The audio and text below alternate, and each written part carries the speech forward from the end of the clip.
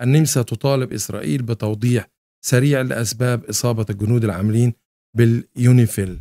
نعم.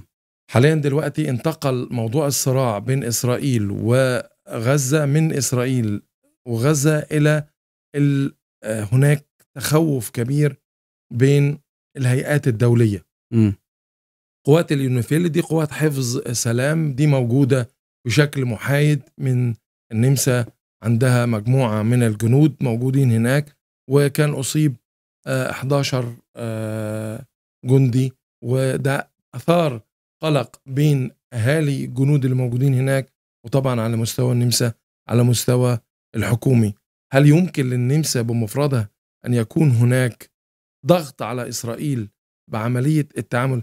وإسرائيل دي يمكن سبق وقلنا الأسبوع الماضي إنها يعني انقضت على منظمة الأونروا أغلقت كل المكاتب الخاصة بها ودلوقتي بتنقض على أو لا تواجه جنود اليونيفيل رغم أنهم دول من هيئة دولية.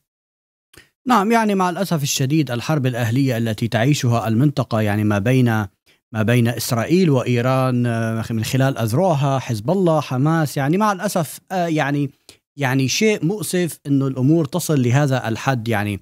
آآ آآ هذه القوات المطلوب منها حفظ السلام يعني تأكل الضرب إن كان من جهة الإيراني ولا من جهة الإسرائيلي.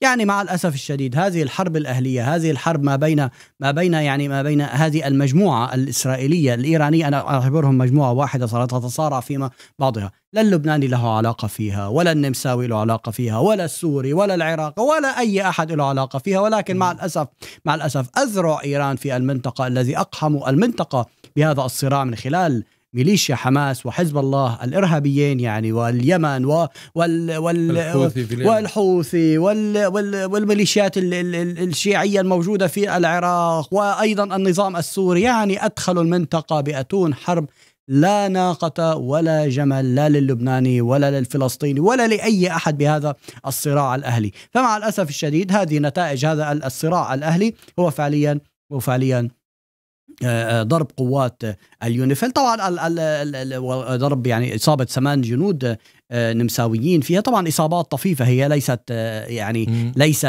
ليست الإصابات الخطيرة ولا توفى أحد وليس ولا ولم يضطر يعني أحد يعني ليس بحالة خطيرة فعليا. فيعني شيء مؤسف. هذه الحرب الأهلية. نتمنى أن تنتهي. نتمنى أن أن أن يعزل الشعب اللبناني والفلسطيني عن هذه المواجهة الإيرانية الإسرائيلية التي ليس غايتها. يعني اليوم الإسرائيلي والإيراني لماذا لماذا يتقاتلوا؟ من أجل من أجل قتل اللبناني. وقتل السوري وقتل العراقي وقتل الفلسطيني ليس لأي شيء آخر. م. يعني هم هم متفقين. اليوم الإسرائيلي ما لا تستطيع إسرائيل القيام به تقوم به إيران. ما لا تستطيع إيران القيام به تقوم به إسرائيل. يحركوا حماس يلا اذهبوا ونفذوا ما يسمى بطوفان الأقصى هذه العملية الانتحارية الإرهابية التي قامت بها حماس. يقوموا بتنفيذها. يا يا حزب الله اضربوا صواريخ بضربوا بتقوم إسرائيل بتضرب على لبنان وبتهدم البنى التحتية وبتهدم الأبنية ودمروا غزة وصارت مزرعة بطاطا وصار اليوم عندنا أكثر من 45 ألف ألف شخص بين قتيل يعني و50 ألف أكثر وجريح أكثر. يعني يعني هذا كله هذا كله فداء للمشروع الإيراني الإسرائيلي في المنطقة.